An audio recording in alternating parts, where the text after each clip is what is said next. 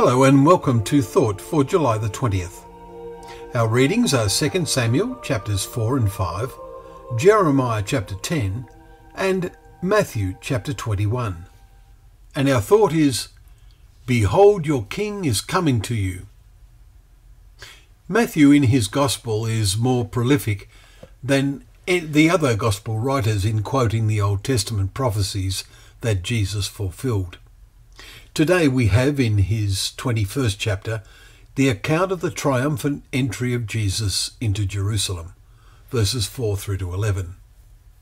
Matthew writes, This took place to fulfill what was spoken by the prophet, saying, Behold, your king is coming to you, mounted on a donkey.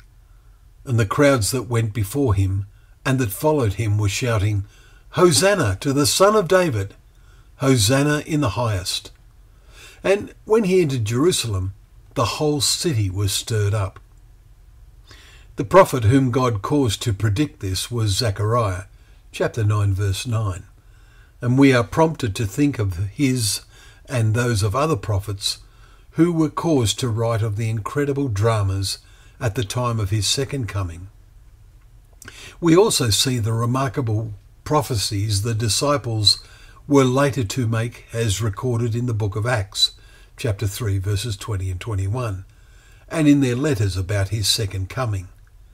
The scene will be truly awesome when true believers will be saying something like, Behold, our King is coming in great glory. But just as awesome, overwhelmingly so, will be his great power to bring vengeance on those who deny him, being totally blind to there being a creator with a plan and purpose for his creation. When we come to Matthew 24, we will see how Jesus himself predicted his return, a time when conditions on earth will be as they were in the days of Noah. So will be the coming of the Son of Man.